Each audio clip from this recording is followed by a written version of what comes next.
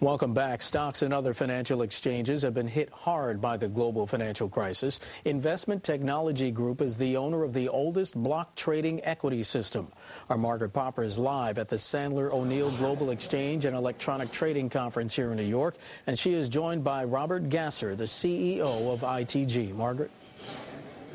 Well, thank you, Mark. Um, Robert, I wanted to ask you how has the recent market turmoil affected block trading? You're obviously one of the companies that is dominates the block trading market. Right, right. Well, looking back uh, on this crisis, which really was precipitated probably in the summer of 07, it's actually changed markedly. Uh, we look at 2008 and we see two large liquidation trades, one in January, one in October. Uh, the one in October I would, I would describe as close to a panic in terms of what it, what it caused in terms of volatility. And with that volatility came a huge change in bid-ask spreads. And so but what I mean by bid-ask spreads, the, the level at which you buy and the level at which you sell a stock. And for that to, to gap in that uh, proportion at 2x is something we've never seen in our lifetimes. Uh, now, when that happens, do people stop putting in huge block orders or, and start dribbling things into the market? Well, I think originally when that liquidation trade happened in October, they were finding liquidity wherever they, they could, whether or not it was a block trade or an algorithmic trade or, or an odd lot for that matter.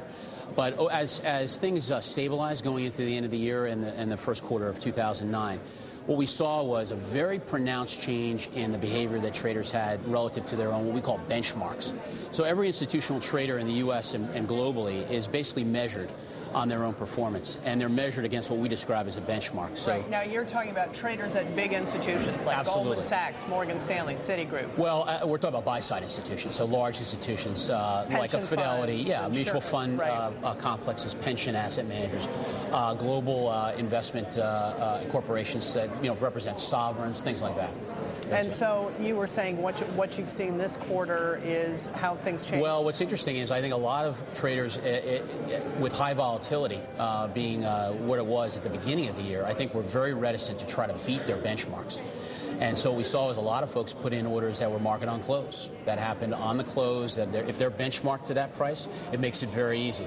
So, so they just submit all their orders. Trading day, and then everything rushes in at the end. There's a lot of that. Now, is there does that potentially put pressure on the system to handle these trades? It does is put that some, It does weakness? put some pressure on the trade uh, on the, on the system, but it also creates more dislocation uh, I think, than we've seen in the past uh, around the close. I see. So, and so you're seeing it's harder to get bid and ask prices to meet at the close. Yeah, I, that's that's a good way to uh, describe it. Okay. And we also saw some closet volatility trading. So you know, guys that were long only, guys that are supposed to hold for a very long period of time, were actually in there trading intra-week in names that had a lot of volatility. You know, financials, uh, you know, Citi and Bank America were 13% of total volume in Q1, which is a, you know, wow. that, that number jumps off the page. Now, you're, you do um, electronic trading systems. Yeah.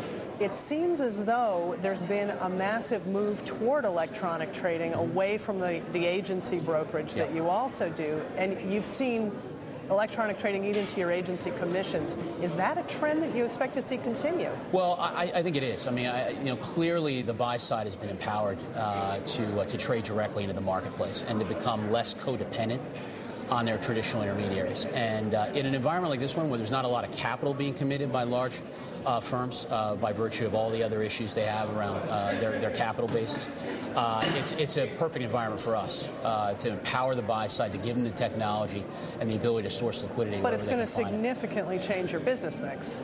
it will over time. I, I, think that you know we're, we're a firm that's very comfortable operating in either an agency mode or an electronic mode. But you had have, a very tough first quarter because of this dynamic. We've had a very tough first quarter because because of the changes that I described earlier in terms of market on close orders being a, a bigger proportion of our overall order flow.